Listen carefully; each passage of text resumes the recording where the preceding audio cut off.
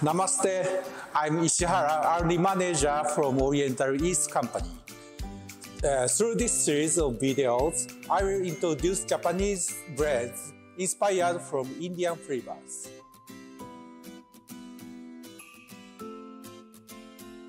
Uh, did you know in Japan, bakers make variety of breads with different shapes and fillings.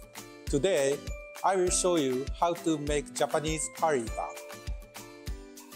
Curry buns have a savory, juicy curry filling and a crunchy texture that's been winning hearts since 1927. The ingredients you'll need to make the dough are flour, Kobo compressed fresh yeast, J-Bake 1000 bread improver, salt, sugar, butter or margarine and water at 30 degrees Celsius. And don't forget panko or breadcrumbs to coat your bun. You can fill the buns with any curry filling of your choice, but a hard, non-paste is recommended.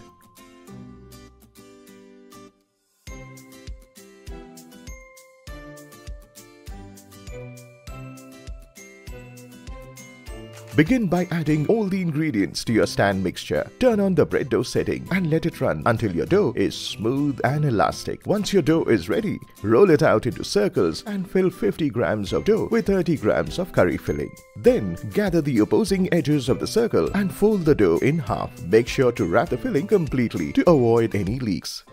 Here's a tip. Prepare the filling ahead of time to reduce moisture content.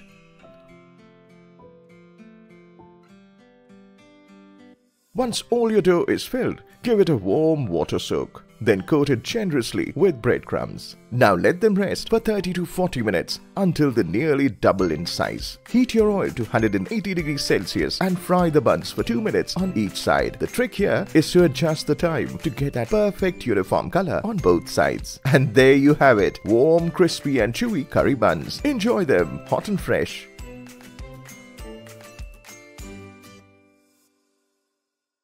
Namaste, I'm Ishihara, R&D manager from Oriental Yeast Company. Uh, through this series of videos,